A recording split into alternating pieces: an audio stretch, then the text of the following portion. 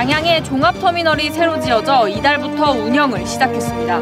그런데 일부 버스만 이용할 수 있어 주민들이 불편을 겪고 있습니다.